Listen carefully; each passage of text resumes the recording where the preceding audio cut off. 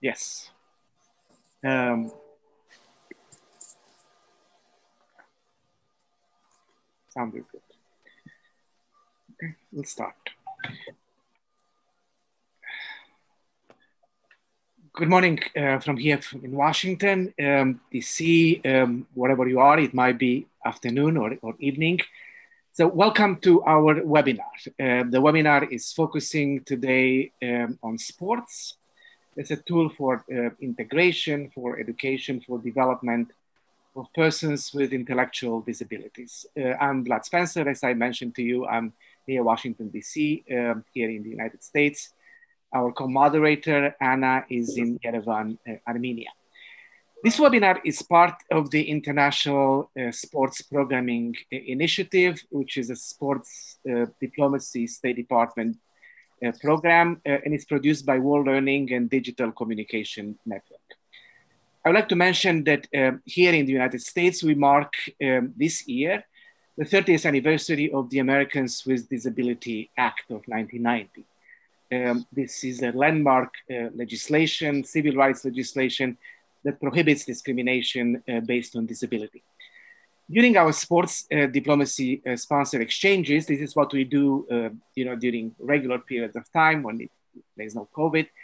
Uh, those exchanges are in-person exchanges, and, and, we always include, if not for the whole program, but at least in segments dedicated to uh, these themes, sports and disability, because all of us should be aware, uh, should be engaged in support of these wonderful professionals we have with us today.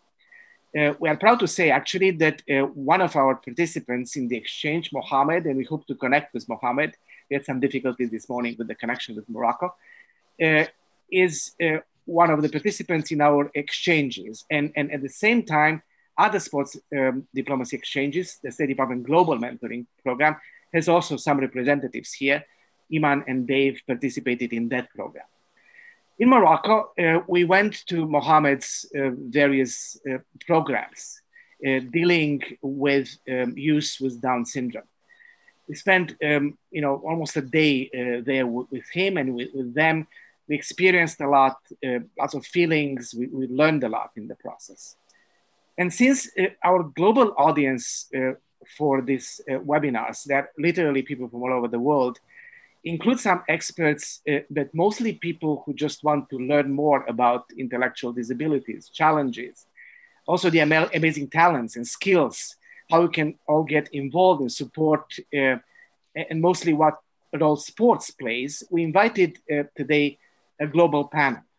Um, there are experts from US, from Namibia, from Lebanon, India, Morocco, because this issue is of global interest. By now, all of you know, um, you know more than probably you want to know about Zoom as a technology. Uh, we count very much of your questions uh, in the chat room. And, and, keep in mind that our goal is not only the current conversation, uh, but also creating a network. So please ask questions, introduce yourselves, you know, with links that might be relevant for this for this team. Uh, when you don't speak, uh, please mute your mics in order to actually have kind of a natural flow of sound throughout the, the webinar. So again, thank you so much for, for being here for the next uh, one hour and a half. Um, and uh, we are looking forward to a, to a fruitful conversation. Now, Anna, you have the floor uh, for the introductory segment. Thank you, Vlad. Um, I'm sure that our webinar will be very interesting because the topic is really very interesting and important. So I'll go with our first speaker, Dave Lennox. He's a president and CEO of Special Olympics Washington State from US. Dave, welcome. I want to ask you to uh, introduce a little bit your work and the challenges that you, you face. So um, yeah, and and my my experience is over um, a long time, and the challenges have changed over time um, because of the way society looks at people with intellectual disability. So when we first started off, every, we has kind of had this assumption that all of our athletes in Special Olympics had the same profile.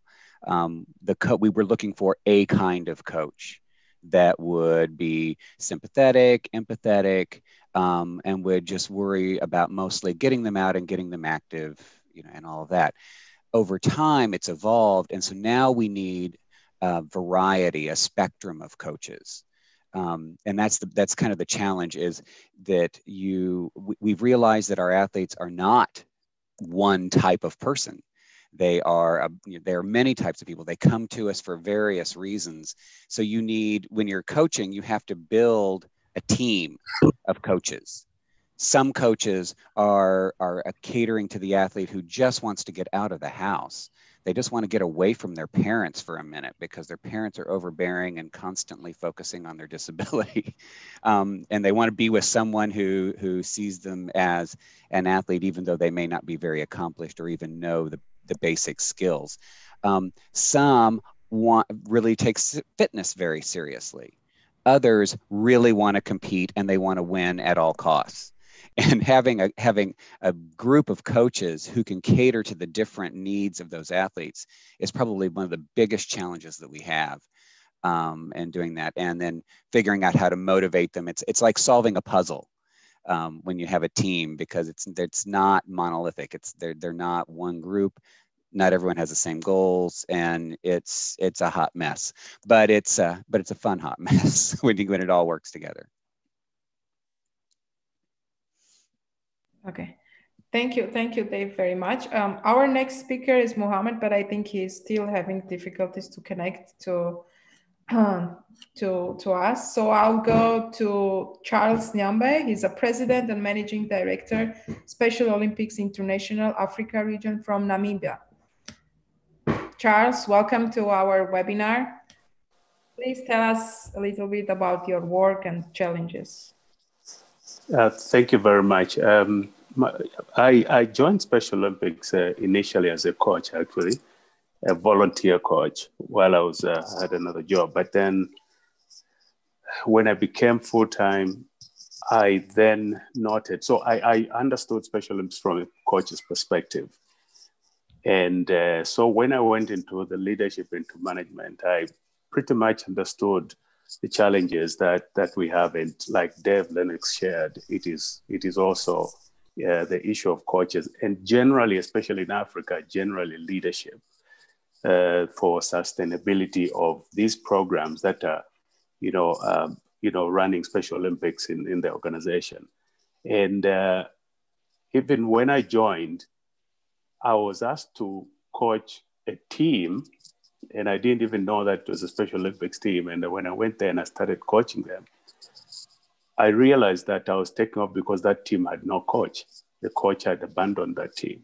So that is the trend that we found that the, the expectation most coaches would like to associate with themselves with elite, elite, elite at all times. So, um, so we have to get people that that are empathetic to find them. So the, the, the training process has to be in, held in such a way that they, you bring an understanding and you bring, you know, emphasize on empathy so that uh, the people that are going to be uh, to be working with the athletes have the understanding. Governments too, in these countries, feel this is a forgotten population. It, it's it's non-existent. Disability to them is what you see. Intellectual disability, unfortunately, is not visible. So the, the family members tend to just put their athletes at the back of their house and and and because because there's uh, I mean they, they, there's no room for them to do anything in society. So government forgets. So that is a challenge for athletes. They cannot speak for themselves, and, and that's why we're now emphasizing on athlete leadership so that the athletes can speak on, on their behalf and they can be seen by the governments and by people when they're participating and so on and so forth so that they begin to understand that yes there's a population that we're responsible for.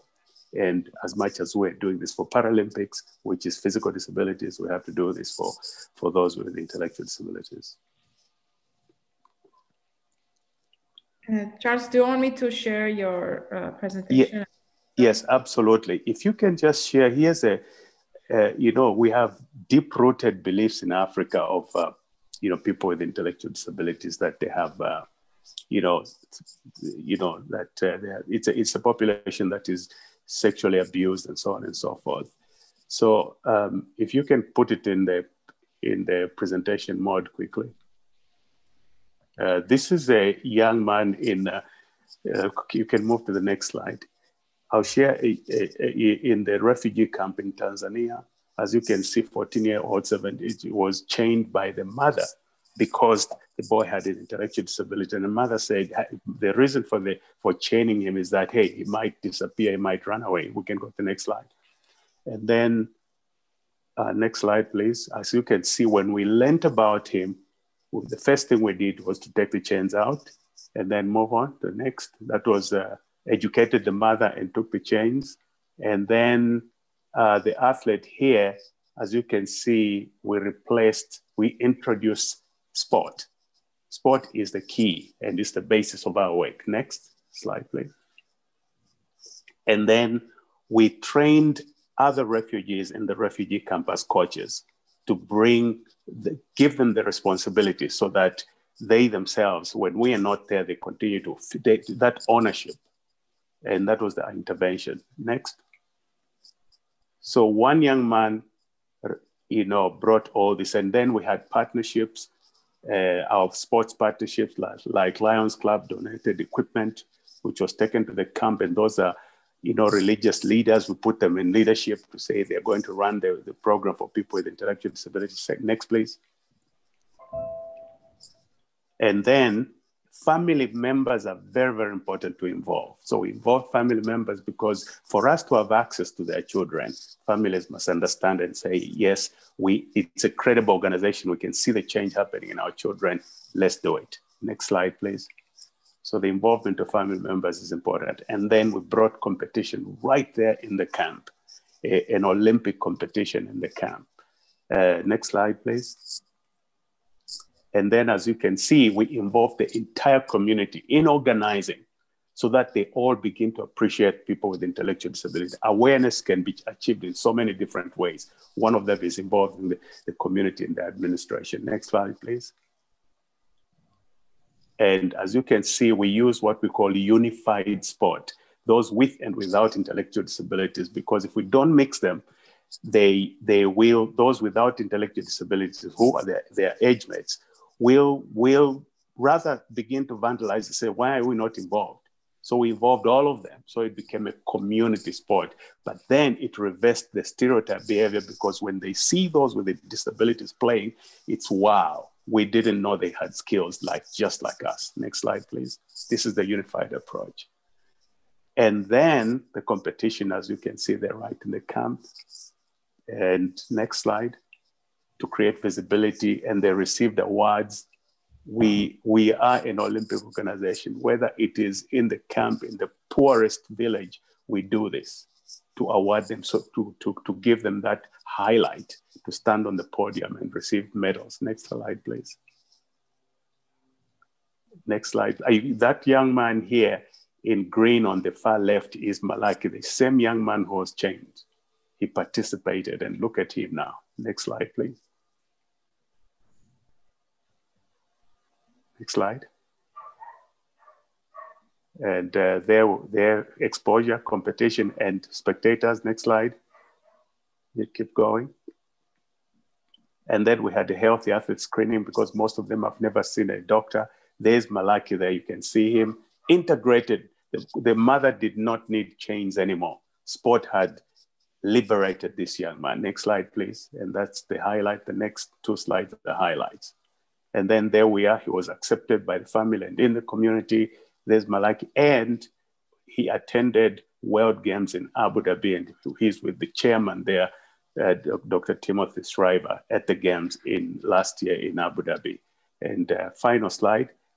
Coincidentally, last year, we, yesterday, we received this, this announcement that uh, the filming of Malaki, ESPN went to the camp and filmed him. It won uh, the tale of the messenger. It, it won the film won the, the Edward R. Murrow Award for national uh, featuring reporting, and on Saturday the 17th of October. Uh, because it, it, touched so many hearts when they see how, how sport can transform, how sport can can bring, you know, liberty to people and families and the community yeah, you can go to the last slide. I think that's the, the website is. Oh, there's a link there. You when you get that, you can actually watch the video of that link there. You can watch the film of uh, the film that I'm talking about It's a really good film to see. It's a six minute film. Can you post it in the chat, Charles, when you finish speaking? So everybody... Okay, I'll, po- I'll post it in the chat. Thank you. All right, and finally, the last last slide. Next, that's the website there, specialolympics.org. If you'd like to to see more of uh, uh, what we do. Thank you. Thank you, Charles. This is amazing what you do and what you did with this uh, kid's future. This is great. Thank you very much. And we'll go to our uh, next speaker, Mohamed Munir. Uh, he's an educator specialist, Moroccan Association of Persons with Down Syndromes from Morocco. Uh, as Vlad mentioned before, we saw him working with the kids and they are really amazing. We saw them playing uh, football, soccer, and they are really good. So I'll let Mohamed to, to introduce the program a little bit. Mohamed, welcome.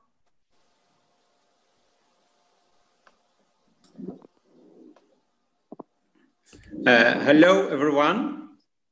First, I introduce myself. My name is Mohamed Munir, and I work as a specialist educator with people with special needs for 70 years now for all of this period, I work, I had a very, of work, I had a very strong and close work connection with Special Olympics in general and the Moroccan Special Olympic, Olympics. Since the very beginning of my career, working as the sport responsible in our organization, the Moroccan Association for Sport in the People with Down Syndrome, my presentation will be short today, and I hope I will be bringing an additional value by sharing our Moroccan experience and two main focus, which are inclusion and independence. Because for me, it's, it's very, very important to speak about inclusion. Because in the sports in general, in all the world, you find the stadium and the place just for the person with disability and the place for the others. This is for me, it's a big problems.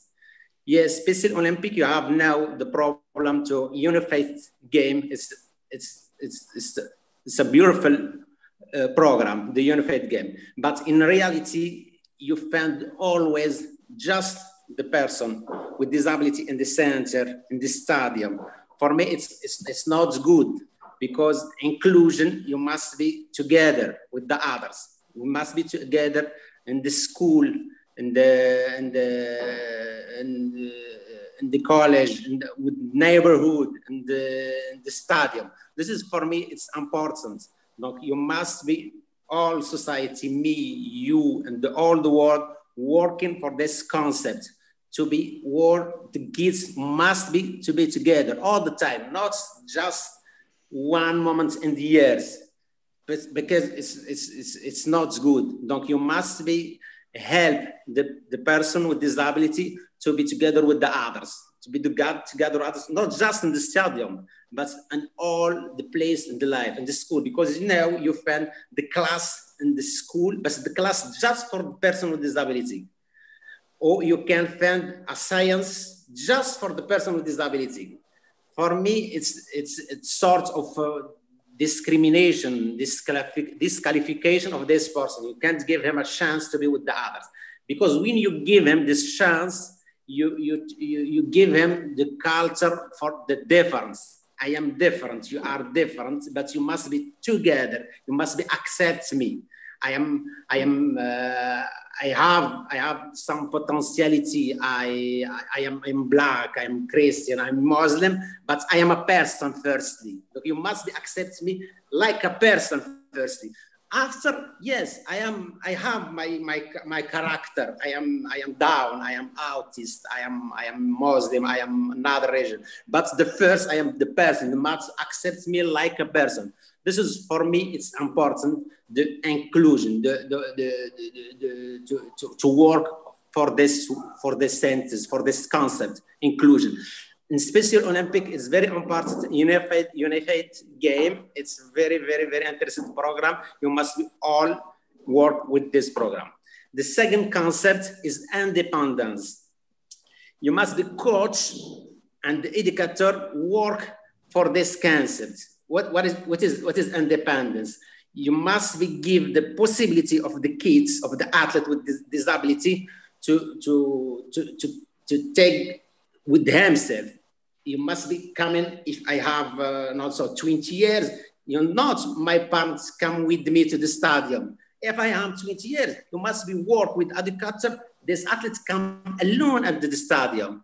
These athletes will arrange the material alone. You can help him, the coach, help him to arrange the material alone, to, to take her dress alone, because the problem, the coach sometimes help up the poor person, he can't do that, I can help him. I mean, you can help him all the time, help him, help him. With the time, this person can do some, some small things like uh, take dress, like, uh, like, uh, like coming alone. Those, for me, independence, you must be mixed between independence and sports and the same thing. The coach and the, and the educator, you must be work together for give the, our athletes with special needs this possibility to be to be to, to be to be uh, to be to be independent. Donc questa uh, this is this is my idea. Donc uh, I don't know if if you if you understand because my English is not uh, not very very good, but I try to give you what I have an idea. Here in Morocco, we have we have lots of experience to to to to, to include the, the the person with disability with the other in the school in the in the arts of course in the in, in sports. Donc uh, the the uh, the role of in, for included is being part of all society, all activity with all of the rest of the people within our community, our neighborhood, and, and of course, same in the stadium. You should not have a stadium for sport only for people with special need, but rather we should be given our special kids the same right to practice sport and play with the other kids. In playing with the other kids, you are also learning learning from each the other and is is very important to that we teach our kids since in very early age about the, the culture of difference. What we should learn to accept the others with their difference because at, at the end we of the time we are all different. These are value that we should all to teach to our kids by doing so, so you won't really struggle in the, in the future to make the, the people with special needs being part of our includes easily in the, the society life of our life. Donc, uh, uh, donc for me, this is this is um, this is this is this is very important. Donc, and thank you very much for your listening. Thank you. Thank you, Mohammed. That was really very good what you said, and I think that most of us agree with your with your ideas. And I really remember this a very tasty kitchen in, in in your organization that the kids were running and cooking. That was really amazing, and I remember every every moment in that organization. You are doing really good. Thank so you. I'll move to our next speaker, Iman Saba. She's a president uh, for Adaptive Sports Center from Lebanon. Iman, welcome. Please tell us about uh, your challenges, about your work in Lebanon. Hi, everyone.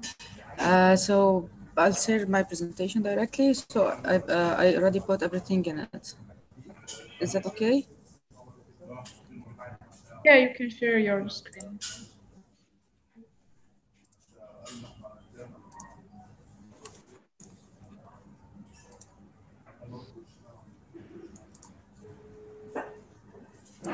Okay.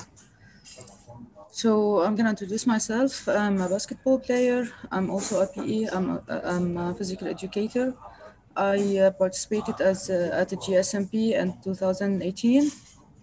I'm also a certified coach by, SO, uh, by Special Olympics Lebanon. We participated in Austria and uh, this was uh, last uh, in 2019 in Abu Dhabi.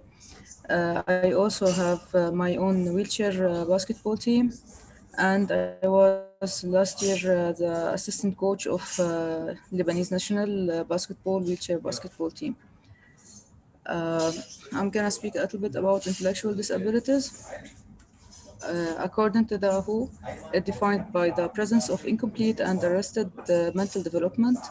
It is principally characterized by deterioration of concrete the functional of stage development and contribution in overall intelligence, such as cognitive, language, motor, and social uh, functions. Uh, it has limitation of communication, personal care, uh, home life, uh, social skills, utilization of community, self-governance, health and safety, functional academics, leisure time, and work. So its classification is mild, moderate, severe, and profound. Its ranges uh, with the IQ level, approximate, uh, the mild goes approximate between 50 and 69, moderate between uh, 36 and 49, severe between 20 and 36, profound uh, is less than 20. So when you talk about special uh, sports for intellectual disabilities in Lebanon, we talk about Special Olympics. Uh, Special Olympics was founded in 19. Uh, we started with 100 players. Now we have 9,800 players. Before Special Olympics, uh, we knew nothing about intellectual disabilities, and uh, and the players really doesn't even participate in anything. Uh, actually, people were shy even to send their players, uh, their uh, children out outside their home. They were kept locked inside their houses. Uh, in Lebanon, we have uh, 21 summer games and four winter games. Summer games such as football, basketball, swimming, powerlifting, bowling. Uh, winter games such as cross country, snowshoeing, alpine skiing, and floorball. Uh, in Austria, where we participated in cross country and snowshoeing, we, we had like uh, uh, six medals for Lebanon. Uh, they have their first participation there, some, some, some of the players. Um, and when, when they returned to Lebanon, well, they actually one of one of my students. Two of the those students are uh, are from my school.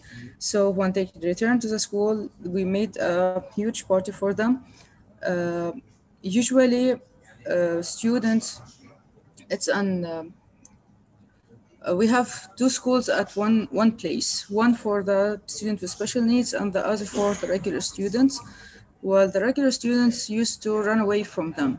Now, after they see them, they coming uh, have the, those medals, uh, they they start to look out for them. Like, look, uh, they have medals. They went out from Lebanon and won their games, so they uh, they start to have like friendship with them and get to know them even better.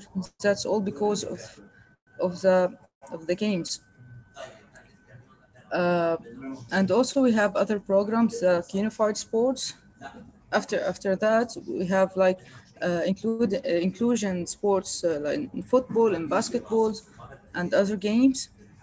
We have volunteer healthy athletes and healthy communities. We have one of the of the best uh, uh, doctors with us like uh, dr abdurrahman bizri he he's now recently one of the best doctors who's talking about covid-19 and the unified schools programs uh, we are entering the schools and uh, explaining more about special olympics and including more schools with us. And families networking we work with families not only the mother and father we're working on also the siblings. So we're working as a whole on the on the uh, on the player. Uh, the benefit of uh, of, of playing. It promotes a healthy lifestyle, build discipline, self-esteem, self-worth, confidence, and it's really shown. Uh, this is a unified team, football team. This game was in 2011 when we went to Greece. Um, it improved uh, psychological well-being, reduce anxiety and improve mood, uh, improve physical health, decrease risk of, uh, of uh, contracting major chronic diseases, such as heart problems, stroke, and cancers. Uh, improved the mental and emotional well-being, especially in preventing and uh, alleviating depression, anxiety, and coping with stress. Increase social network and relationship. Uh, enhance cognitive functioning and learning. Now for the challenges. Well, in Lebanon now we have challenges in finding volunteers. Now most of the volunteers are looking for uh, uh, for for more pocket money work uh, because of the economic crisis that we're having. So we're having a little bit uh, problem having some more volunteers. But uh, uh after uh, like uh, telling more about our program and seeing that the athletes and working with them, some volunteers are really coming and enjoying working with the Special Olympics. COVID-19 is a big challenge. Uh, there's no physical activities uh, for the children. Okay, we're having some visual uh, virtual meetings, which we are sending some videos for them, but we don't have like a real tracing for them. Like we don't know if they're really having have doing those activities or not. Uh, also it's affecting their mental health and physical health uh, and uh, other problems like fundraising. There's a lot of NGOs now in Lebanon, uh, and everyone is selling um, their ideas like uh, for NGOs for cancer, NGOs uh, for a lot of uh, uh, like for this uh, crisis, economic crisis that we're having, the explosion that we have recently. So it's been tough for, for us to, to have fundraising and uh, social integration uh, despite everything that we're doing is we still have people that don't understand uh, really what uh, what this means. Like we still have some bullies we still have uh, some people that they saying that look this is disabled and this is down syndrome and this is i don't know what. So uh, we still have like to do more awareness and and have more people integrated more in these games and explain more and more for uh, for those players. That's it. Thank you. Thank you. Uh, so fascinating presentations. Please continue to ask questions in the chat room. And we'll back. Sorry, we have we have one more one more speaker. Sure. Yeah, yeah. yeah. But if we if I could interrupt you for two seconds, um, you know, so um, our uh, partners at the State Department, uh, Sports Diplomacy, Ryan Murphy is, is, here, and, and I would like him to say just hello. His background is in sports with disability, and uh, and then we'll get back to the lineup of speakers and, and to the to the chat room. So Ryan, if you could hear us. Yeah. Hey everyone, can you hear me? Yes. Perfect. So I just wanted to to say hi to everyone. Um, sorry, I might need to leave the session a little bit early, but as Vlad said, I worked for Special Olympics International prior to coming to the US Department of State. So have worked with Charles and Dave. Dave was actually my boss who brought me into the Special Olympics world, um, as well as Kester Edwards and a few others that are on this call. Um, so I, it's certainly a passion of mine. I'm glad that we are able to, to do a session like this that is focused on uh, sports opportunities for individuals with intellectual disabilities specifically. Um, and just thank you really a lot to all the panelists uh, for, for, taking the time and, and doing this session today. So I will be listening in the background and I appreciate all the support out there. Thank you. Thank you. Thank you, uh, Ryan. Anna, back to you. Thank you. Thank you, Ryan. So we'll have our last speaker, Manisha Verma. She's a manager, research, training and development, skill council for persons with disability from India. Manisha, welcome to our webinar. Hello, uh, th thank you for inviting me. Thanks to all the panelists they have put up. Actually, when I was listening to all these panelists, I realized the problems everywhere are the same. The challenges are same uh, whether it's America or Africa or India, the challenges the persons with intellectual disabilities are facing the same. It's lack of awareness, COVID 19, restrictions due to that, and uh, uh, there's also a challenge like uh, mm, because parents are overwhelmed with therapies and the schooling the sports gets uh, takes a backseat for uh, persons with intellectual disabilities um, i have been a prince i've been uh, uh, managing a school also for specifically for special needs children. And what we lacked was the proper infrastructure. Uh, in India, the, you have big cities and rural India, which is really backward. And uh, uh, a lot of uh, issues in uh, terms of accessibility to the infrastructure for proper sports infrastructure. So I was uh, also consulting Ministry of Social Justice and Empowerment on development of a specialized post training facilities for all the persons with disabilities. It uh, the project was passed last year. And uh, right now it is in development stage in two states in madhya pradesh and in meghalaya. So um, gwalior project has already started and uh, for uh, detailed project report is being prepared for the shillong center the aim was to uh, cater to the special olympics to be held in 2022 but now i think it will uh, it has take uh, it is the work is still going on so uh, that is what India is doing for incorporating these challenges. And uh, then we have special organizations like Paralympics of uh, Paralympics, Special Olympics Bharat, and there is one uh, Divyang Maitri Sports Academy in Bangalore, which is working exclusively to train the children for intellectual dis disability uh, and uh, surprisingly, despite the challenges, India has performed very well in Abu Dhabi, winning 385 medals in Special Olympics. And uh, there's a lot to be done. There's a lot. Uh, there are a lot of challenges ahead, which we need to incorporate. Main, which I see, is um, lack of awareness and lack of accessibility here in India, especially, where we need to work on that so that the children come out of their homes and uh, reach these centers. Uh. We have got very good coaches, but uh, infrastructure in terms of infrastructure we lack. So hopefully we'll become uh, will and uh, there's one thing also um, in India like challenges are so many uh, like schooling going for therapies. So there's not a um, the sports take a back seat kind of. It's a extracurricular activity. It is not the main activity.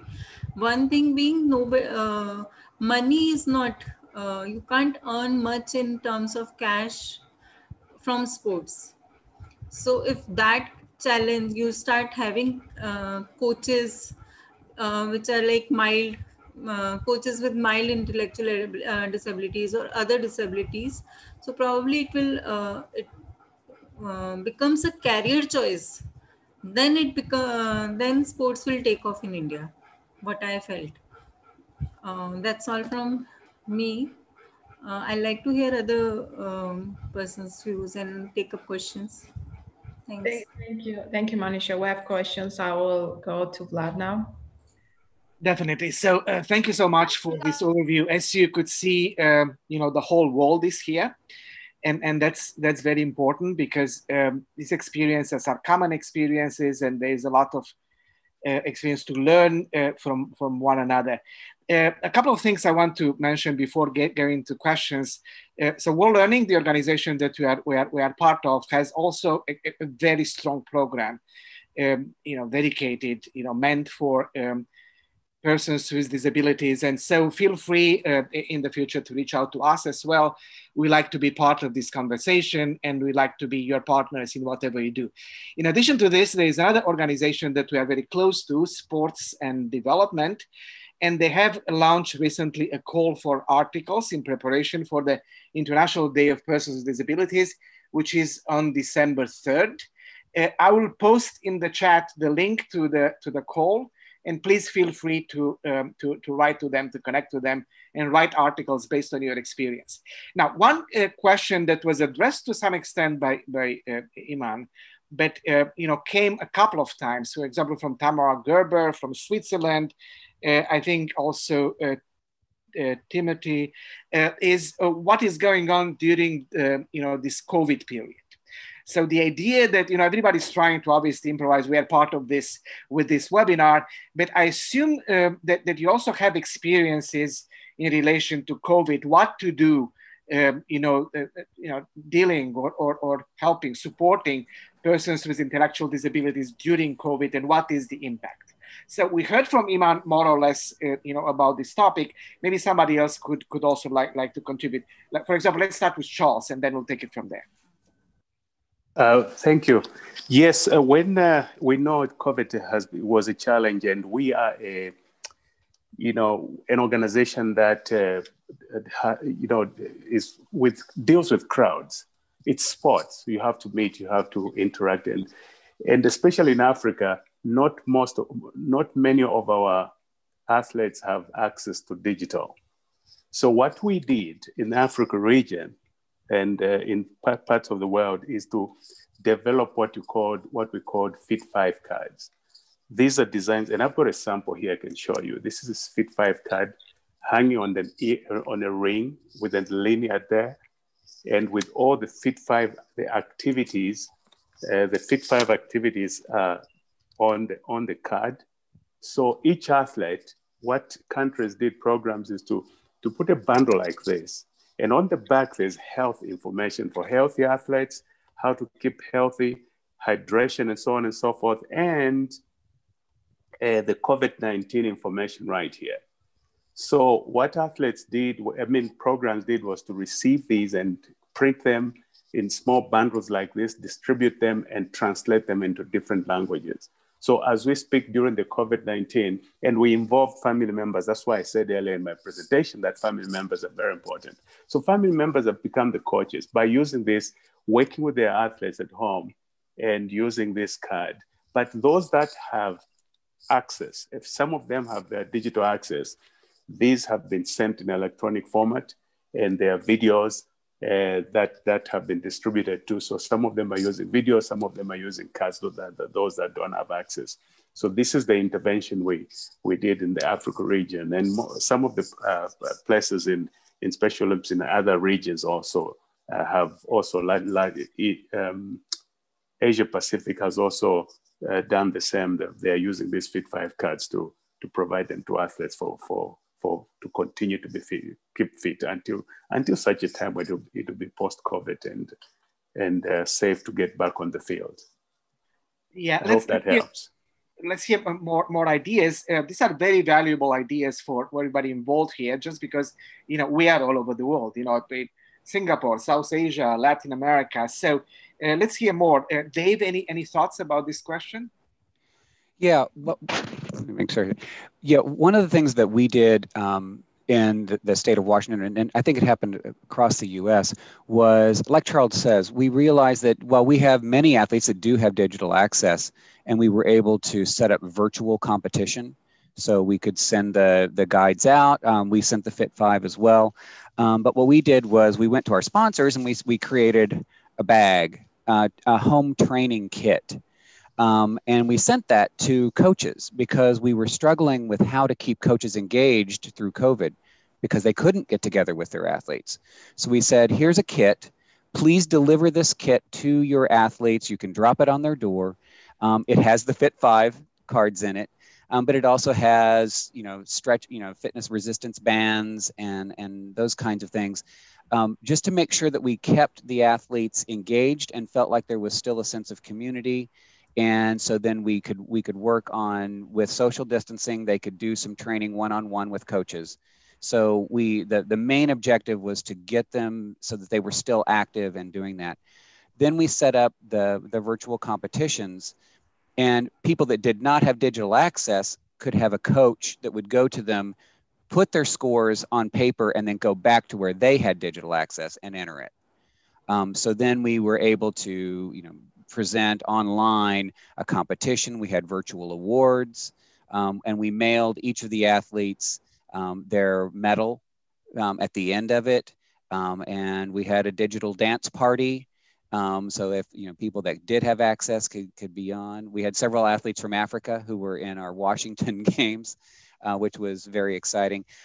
What we have found is that where there is digital access, the COVID um, force of making us draw back a little bit um, has made us kind of have some time to stop and think about the global community of people who, you know, and our athletes have said, you know, stop whining about all this social distancing and, and all of that. We have been isolated and marginalized our entire lives. We're used to not being seen. We're used to not being out and doing things. And oh my God, will you people stop whining? Just get out and you know do what you can. you know, so the athletes have been um, very forceful in, in telling us that uh, they expect to stay active. Um, so we we keep designing new ways for them to do that. Um, and uh, we're now at a point, you know, our state is doing a little bit better with containing. So we're now to the point that we're reinventing and having more local competitions, very, very small competitions, maybe 10, 15 people, um, but getting two teams that are fairly close geographically to come together. Um, but it's it, the athletes are forcing us to to stay on top of it. But mostly, it's about keeping and maintaining the sense of community um, and keeping them so that they're active and they feel like they're connected to Special Olympics and to their teammates, their coaches, their families. Yeah, definitely. And in some ways, and this is what we do here, is, is the proof of that. This period brings us together in ways that we never knew possible. You know, even this idea of actually bringing global experiences together, which in conferences, in global events, it's possible now because we have we are virtual. It's much you know cheaper, more affordable to actually accomplish this. And so, you know, while we are all, you know, suffering through this period, there are also some benefits for those who, who know how to seize them. So let's hear uh, more about this important topic, actually. Uh, Manisha, any thoughts about impact of COVID in, in, in your work or any work that you observed in India? Yeah, in India also we are coping exactly with webinars, virtual trainings, and one advantage we have is we have switched to indoor games lot of uh, NGOs told me that they are what they are doing is involving parents and giving out some uh, play activities for the children, doing them through the parents. Pa- they teach the parents, and parents get involved and play with the children. So that is one way uh, to engage the children for sports. Uh, instead of uh, playing outside, children were like stuck, and there was uh, really we had. I was uh, volunteering for COVID helpline also, so got a lot of distress call from the parents who was really stressed out. But these kind of activities actually helped engage the children and reduce some kind of stress uh, with the children. They were much, when during the period they were occupied, they were much uh, easy to control and uh, then the day was uh, when they get, used to get tired the day was slightly subdued the uh, mothers could relax in the later uh, part of the day. But parent involvement became a major factor driving the sports or any kind of training. Uh, without parent, like in future also, I feel the parents should be an integral part of uh, any kind of training, sports or uh, education, any kind of training, they should be major in, uh, majorly involved, not excluded. And one thing Andy Reid has pointed out, right, we call it Special Olympics. I think she has a valid point. It's kind of exclusive exclusion, but uh, that's the way, Andy. It is uh, called Special uh, Olympics uh, all over. I think we should change the name. um, Mohammed, any thoughts about about this, Mohammed? about COVID? Actually, one of the questions came from Morocco. Yeah. Donc, uh, for, for, for the Moroccan experience, like uh, Special Olympic in all of the world, I am translate the Fit 5 in Arabic. The same program in Special Olympic I translate last, last week, and I give him all the athletes in our organization, 100 athletes. I give him to practice sport at home with her family, not alone, because this is I for me I insist for for uh, question of inclusion. The athlete we can do sport, but with her brother, with her neighborhood, and with her mom, with her father, not at home. Look, I translate this. Look, I, I use the Fit Five.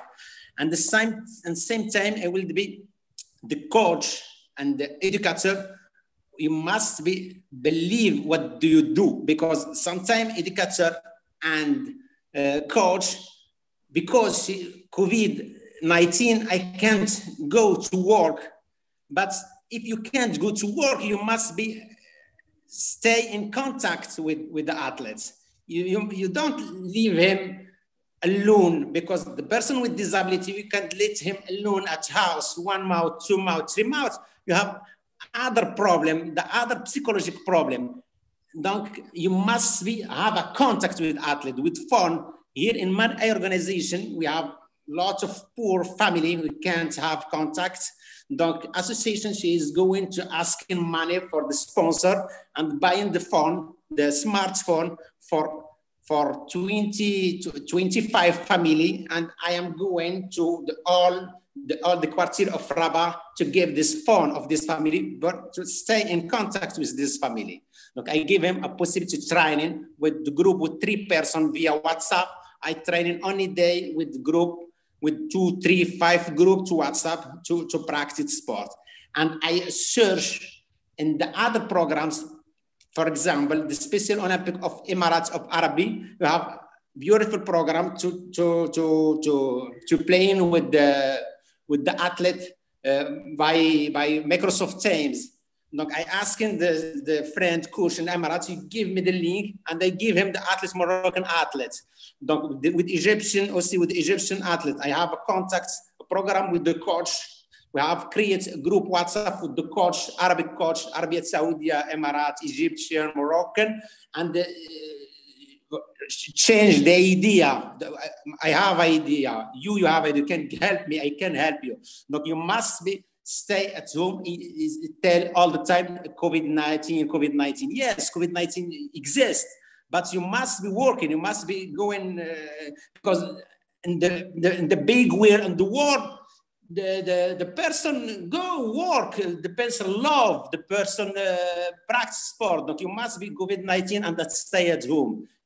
You must be search the solution. You must be creative to help this person because if you leave him alone at home through four, four five months, don't you you give him the problem, the psychological problem. This is this is my idea.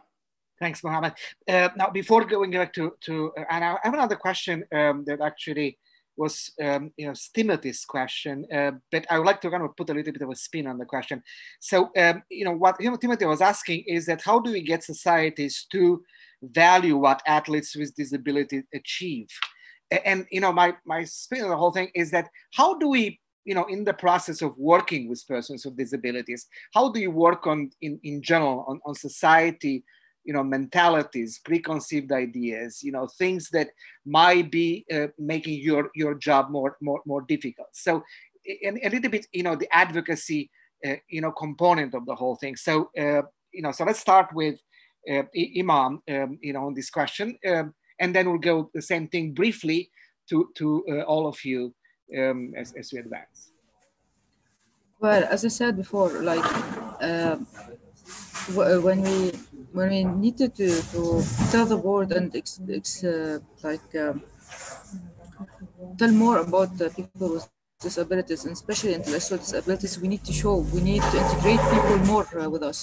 Uh, so we need uh, we, we do more uh, work, more competitions and more uh, fun games. We include other people with us. We start with schools inclusion and integrations when uh, like uh, we start like with uh, young athletes where with the small ages we start to introduce uh, uh, small athletes to, to each other so they won't feel uh, different from each other through sports. When they grow up together, they will feel okay with the idea and we we make uh, awareness for people like we, we make, uh... yeah there is a there is a little bit of a noise um, underneath. Uh, so let's go let's advance a little bit. Uh, you know charles you know actually this question was put in relation yes. to namibia. Yeah yes okay. yes. All right yeah. i'll wait. Yeah, yeah. and uh, we make uh, we make uh, also like meetings with the families. We make awareness for the families, for the people with disabilities, and uh, for for um, and uh, for for like for other families. we include them together in the same meeting, and we start to introduce more about the players and what they can do to share the ability, not the disability. Uh, we always show the ability of the player, not not show them the disability. So that's what we always work on. Yeah, we lost we lost your your sound. Um, Charles. Uh, yeah, thank you. Um, society, in terms of reversing these stereotype behaviors, and you know, especially in Africa, these stereotype behaviors are, are so deep rooted in some of the countries that we've witnessed, as you saw from that video, and also in uh, in one of the countries, there what you call prayer camps they believe that people with intellectual disabilities they they they are possessed by demons. And and these people take them take them and take them to camps where they pray for them to to heal them from uh, intellectual disabilities.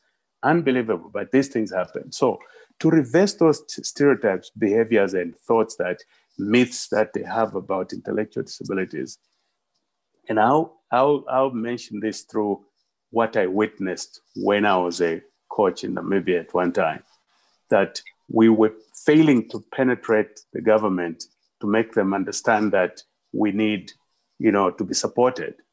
So what we did, what I did was to, I persisted for the director of the of, of the country to attend the national games and he be the guest of honor. So he agreed, he came to the national games.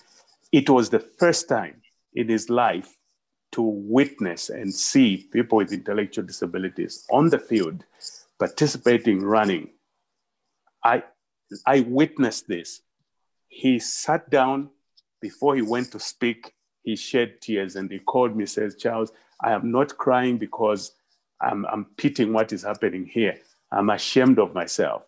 I'm the director of the country and I'm looking at these athletes running and I've never put a penny down for them because I didn't know I was ignorant. So, to cut the long story short, oh, by the way, from then on, the government in Namibia was extremely, extremely supportive in terms of uh, people with intellectual disability. The government created a position for marginalized people uh, to, to support them. And we, we are doing this across Africa. We emphasize to, to our programs, special Olympics programs, that when you have games, invite your sports ministers, invite your potential donors. And by doing this, many of them are going back saying, wow, what I have seen today. So the only way, the most effective way of reversing these behaviors is by witnessing. If you don't see it and you just bring a paper and say, can you, they will not know. But if you bring them and they witness it, it changes the, the attitudes. That's the best way to change attitudes, to make them see that these athletes are playing soccer, and some of them play better than people without intellectual disabilities. So why have we denied them the opportunity? Then they realize, they feel, they feel, hey, let's let's integrate them and start the inclusion program. Yeah, and, the passion we feel here in this webinar from you is probably the best ambassador of this of this idea. So let's, uh, you know, a couple of, you know, Manisha, same thing, you know, influencing, impacting hearts and minds at the, at the society level uh, you know, when it comes to um, integration of persons with intellectual disabilities. Manisha? Uh, I didn't get you. Uh, the voice broke. Can you repeat the question? Yeah, it's it's basically influencing society as a whole, having an impact through the sports activity, through integration. You know, how every do we year? Uh, every year on Disability uh, Day, we use we have uh, um, sports day and uh, other activities. And uh, what uh, Iman said it's really that is the best way to spread the awareness. When the public and the government officials sees these children I, I, myself had this experience. There was a kid who was really i felt he didn't require special school. He could manage with little help in a normal uh, inclusive environment. We have special schools and inclusive schools but uh, the mother being very poor was not uh, being uh, entertained by the norm, uh, inclusive school setup people So I also did the same thing. I invited the principal over, showed them the talent of these children, and he was so surprised that uh, uh, they can perform dance, they can perform sports, they are very good in singing. So then I proposed that I feel this child probably two class down, if you include him in the regular mainstream school, he will be able to cope with the, his studies and he is he can do better. And uh, then he agreed to take him in. And the mother was really grateful and uh, we handheld him. We supported him for one year in that school. By the end of that one year he was monitor of that class he was managing class he was managing uh, he was made prefect basically managing managing the movement of the students in the corridors. So this is that is a drastic change when you expose the normal public. What happens when uh, in our especially in developing countries there's such so much lack of awareness their children are hidden. They are not uh, uh, uh given any identity they are not asked about their choices. So it is like all is pre-decided. Okay the child is not walking the child is not speaking take him to the therapy uh, take him to the doctor. They do doctor shopping for seven to eight years and then they come to a special educator and then the child is assessed. By that time that early intervention crucial period is over and there's very limited things that you can do with at the child who is eight years or 10 years old. So unless and until uh, we start uh, having these sports event and what i feel is that some kind of career should come up. Like what happens the child keeps going for these special olympics for probably 17 years or 18 years of age and then it stops and during this period when he's winning medals especially in india uh, he's recognized by the mlas and the mps people sponsor him people give him money people give him gift uh, we had a case uh, child won uh, the uh, money for uh, um, by participating in the special olympics and he sponsored the um, operation of his father yeah. from yeah. that money so that kind of things happen. But after a certain age these activities stop. There's nothing beyond 18 years or something. So then the child is lost. All that identity is gone. That source of money for the family is gone. So beyond 18 years if something can happen maybe uh, they become the trainers or they keep participating till uh, much uh, we have a older age group for these games. Yeah. so they keep participating they keep going out they are exposed. That will really help what i feel. Some kind of career or some kind of regular stream of income will encourage um, more. Yeah definitely.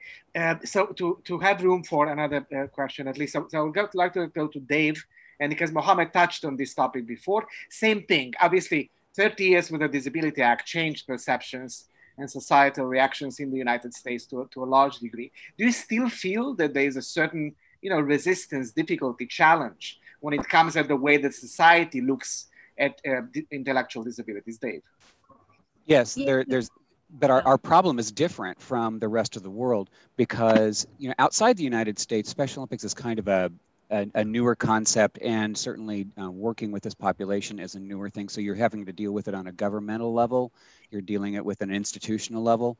Our problem is that most people in the united states think they know what special olympics is and they think they know what people with intellectual disability are capable of. And because they saw special olympics in the 1970s or the 1980s and when we were not really focused on our on our athletes as athletes we weren't focused on their ability to be included into society and included into sports teams and all of that. So we have to re-educate is as our problem. So the the activity that i usually do is i will sit down and we have to re-educate ourselves as well. Our coaches and our families um, are among the, the biggest problems that we have sometimes because they think they know and so what I do is I say, okay, I want you to write down. Um, I'm gonna, you know, I'm gonna show you some pictures of some athletes, and I want you to write down what do you think this person is capable of doing? What do you think this person needs from you as a coach or as a parent or as a government official or you you know whatever. And I want you to write that down, and then I bring that person out And frequently that, and, and it's an athlete, it's a Special Olympics athlete who may be a coach themselves. And they say, you know, we demand that the coaches who coach us know the sport and they treat us as individuals. We expect you to know what you're doing. Um, they say, yeah, I train six days a week, you know, and I train for an hour a day, you know, or two hours a day, and here are my times and all of that. And then I'll they, they go through everything that is important to them. And then I say, okay, now compare what they just said with what you wrote down. You know, don't ju- don't prejudge what you need to be doing for this population. Listen to them they can tell you what they need. We're, we're much more advanced than that. And then I can go into some of the data about the health disparities. You know, our athletes die 16 years earlier than they're supposed to, simply because people had preconceived ideas about what they were capable of and what was causing them to not be able to learn math you know? And so then i say this is a problem and we have to address it but we will only be able to address it when we truly value them and their input and we look for their wisdom about how to work with them. So it has to be much more of a re-education for us as opposed to the initial education that you see kind of outside the us I think that so. I, I, appeal to you since you know time is limited and, and questions are, are keep keep keep coming. Just please read also the, the chat room. Both the speakers and the participants keep connecting, and some of the questions have been addressed in the chat room, but others could be addressed in the in the in the future. Um, so let's keep this discussion going even beyond this webinar. So, Anna, now you have the floor. Yeah, thank you, Vlad. Um, I want to ask you, as we mentioned, everybody, that um, coaches have very important role in, in, in the lives of athletes. I want to ask if there are um, any special trainings for the coaches, courses for the coaches, and what kind of skills coaches should have to be to train uh, the kids for Special Olympics or just in general kids with the disabilities. Dave, Charles.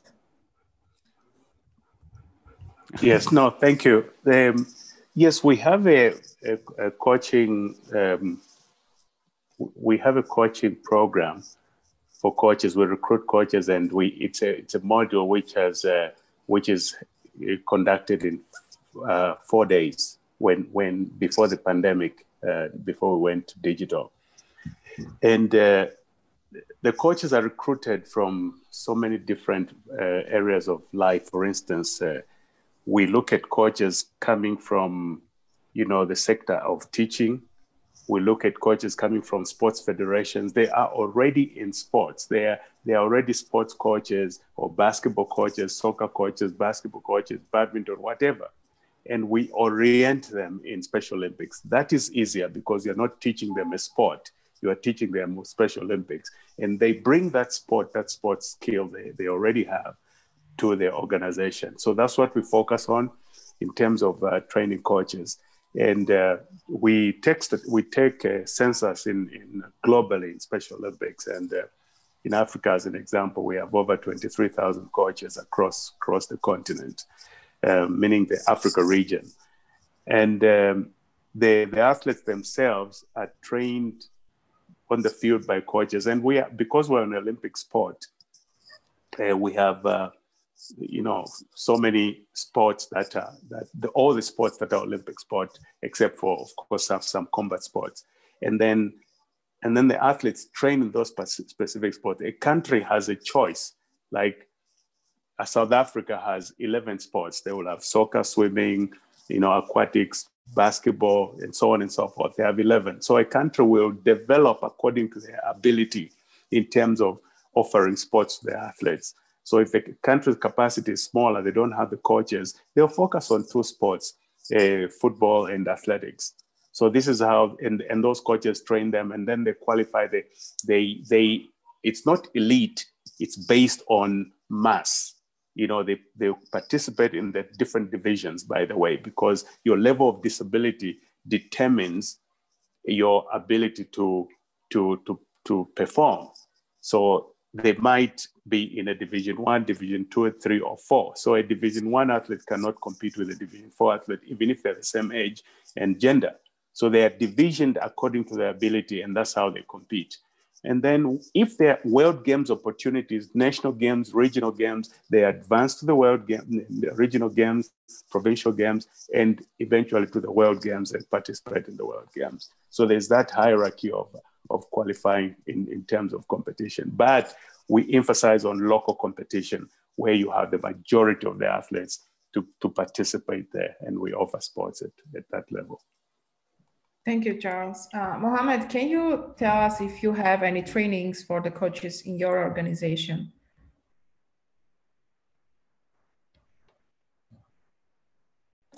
Yes, of course, because in the in sports you have any sports you have a specialist, specialist of football, of athletic, of.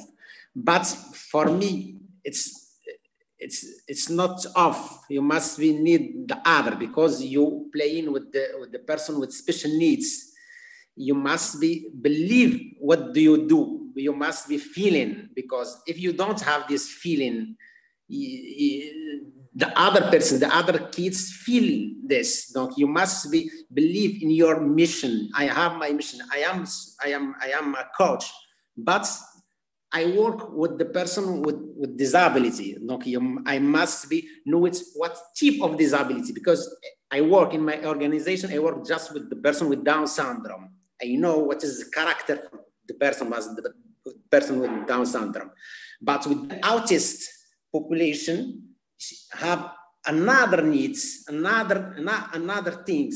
The the person with EMC because disability it's not one and the person the, the same the all the person with down syndrome you, you you find lots of because only person it's it's it's it's a uh, it's it's single look you must be uh, know it the, the, the psychology the the the, the life the, the the family because sometimes i come to to to coaching my my team of football but I must be knowing because I have athletes, she has take two hours for coming to teach me. She is coming too tired.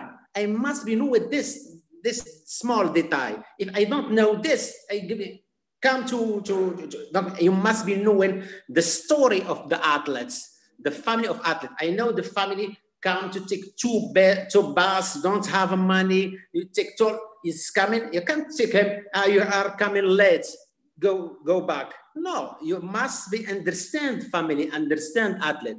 If this quality only coach, only coach, you must be have this quality to understand the others, to give him a possibility to explain, to give him a possibility. And on a couch, you must be searching to the psychology, the type of disability down. It's not autism, not AMC, not uh, not. Uh, donc, this is for me. It's very important.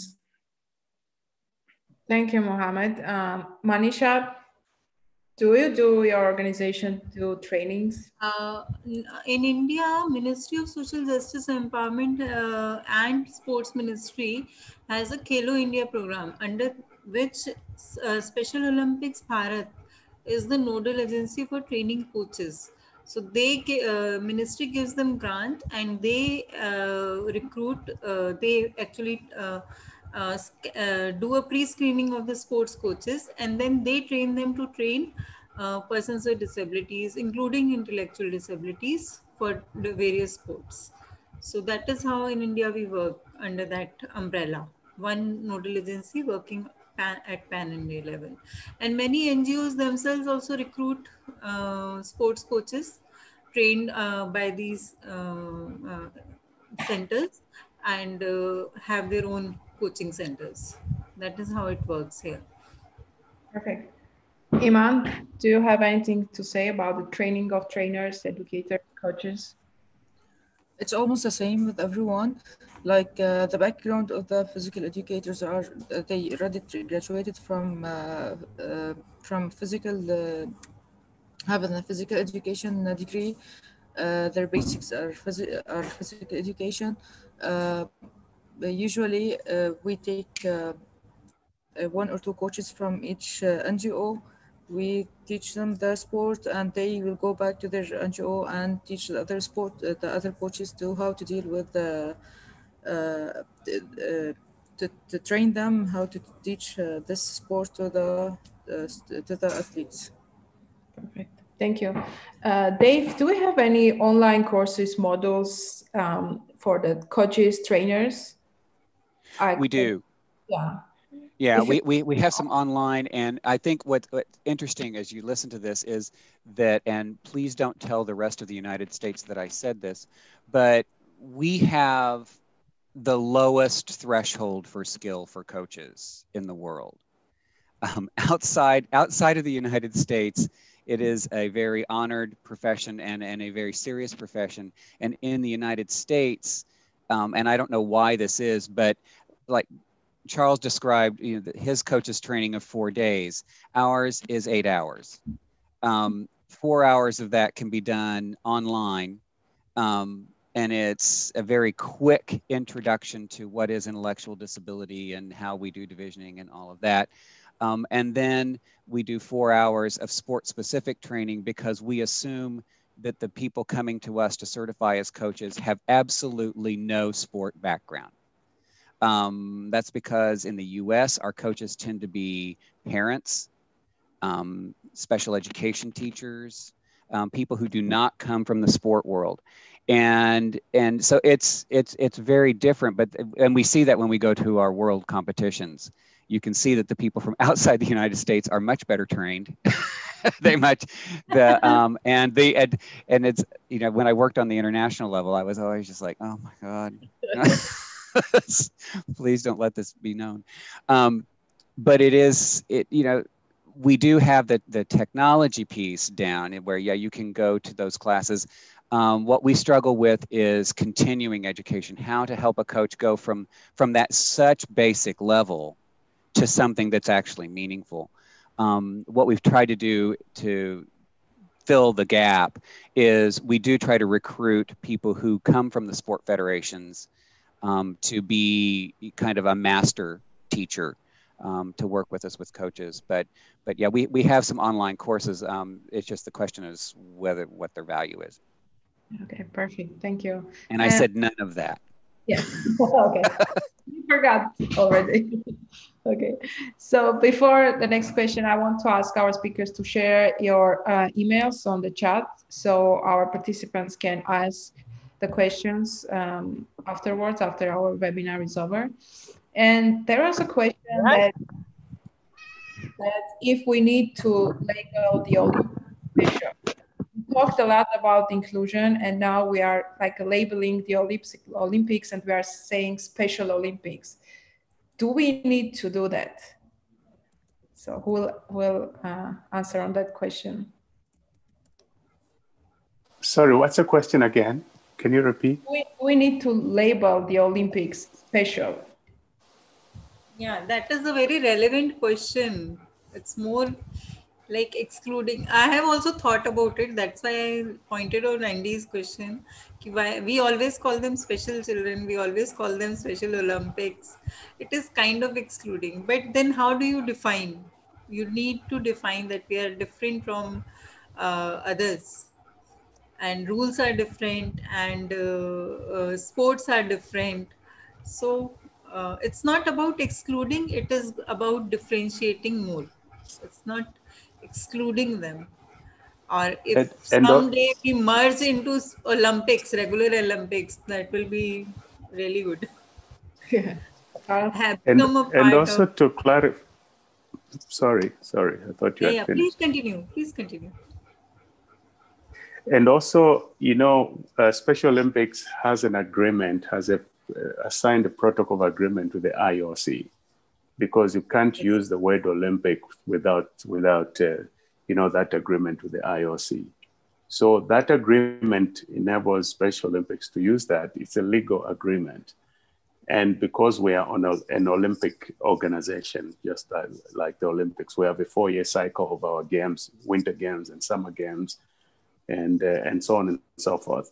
And um, so we we the the agreement was was that the, the Special Olympics had to have the word special before Olympics. In, in, uh, it's, in the, it's in the general rules that that's how it's supposed to be, to be appearing. So it's, it's nothing you know, it's it's it's a, it's an agreement, and that's how IOC and the SOI and Special Olympics agreed as to how the naming should be because of this agreement.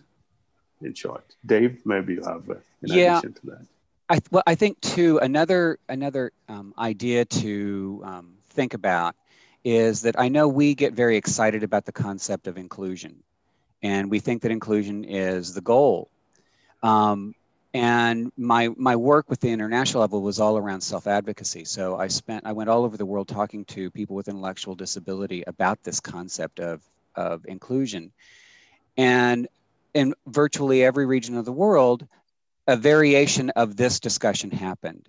Yes, we think inclusion would be great. People could come to Special Olympics. And I said, well, I think what they're talking about is you going and com- you know competing and training in community sports or with sports clubs or whatever. And they were said, why would we do that? Um, we don't want to go because their people are mean to each other they we see what goes on you know in mainstream sport and sometimes we don't like it we like the fact that we have a safe place where this is about us it isn't about you and it isn't about us trying to be you let us be us and and let us have our space and so well our idea is, oh my gosh, we've, we've labeled them and we've limited them. Um, if you talk to them, and not all athletes agree, you know, so certainly there is a, a various opinion about it, but many of our athletes like the distinction. And they say, you need to get over the idea that I have to be like you. I don't have to be like you.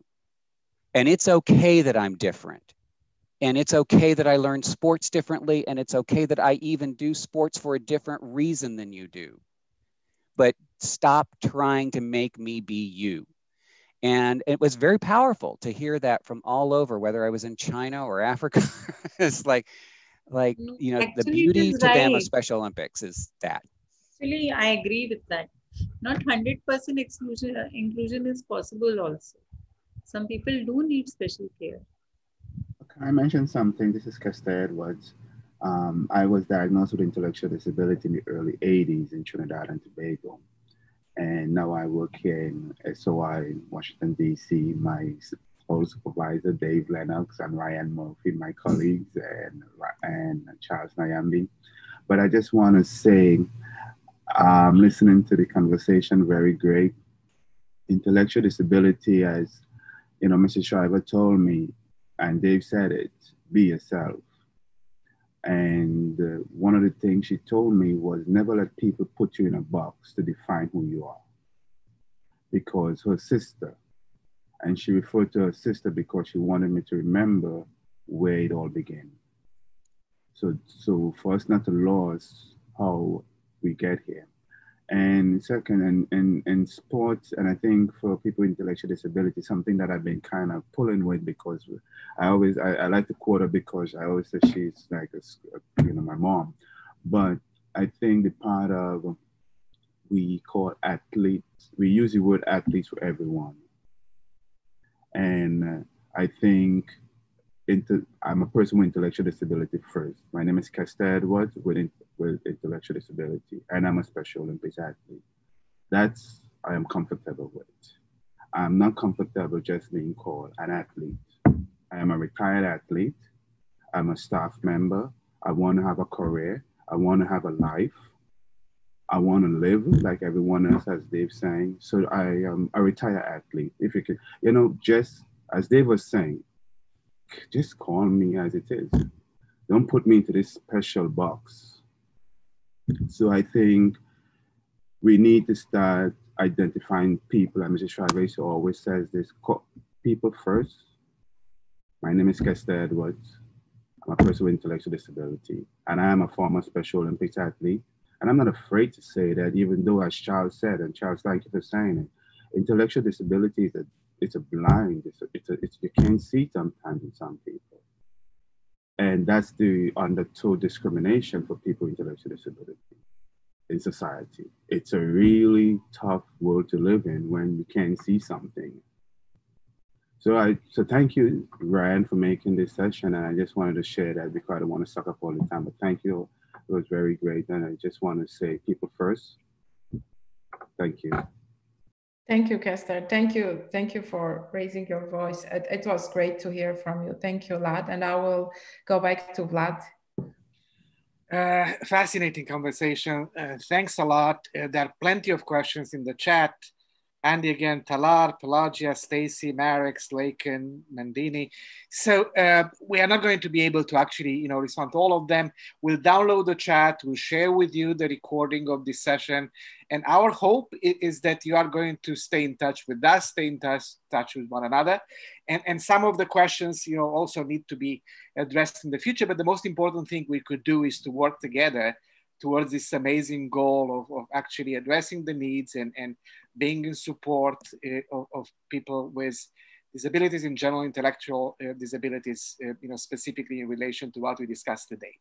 Just want to remind you the webinar was part of the International Sports Programming Initiative of the State Department Sports Diplomacy Division and is produced by World Learning and Digital Communication Network. Thank you so much for being with us, the speakers, Charles, Mohammed, Dave, Iman, and Manisha, uh, all the audience, um, and uh, please, please, please stay safe, and and hopefully, you know, one day, not not very, you know, long uh, long time, we'll get to meet each other in person and, and, and share this experience, and plus, you know, doing the programs, exchange programs in person, persons again. Uh, goodbye, and, and have a great great day. Thank you. Thank you. Bye bye. Thank you so much. It was nice hearing you, Nimbi. Thank you. Bye. Thank Bye. you very much. Thank you. Bye bye.